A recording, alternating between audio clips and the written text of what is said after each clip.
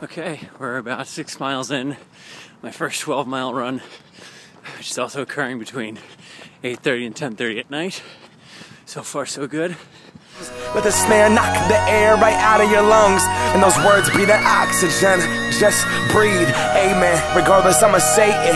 Felt like I got signed the day that I got an agent. Got an iTunes check. Okay, Saturday, April 13th, 10:25 p.m. Just finished 12 miles just under 9 minute and 50 second pace, which is right under that 10 minute mark I'm going for. Feeling great, feeling strong. Here we go, 1.1 to the half, baby. Here we go.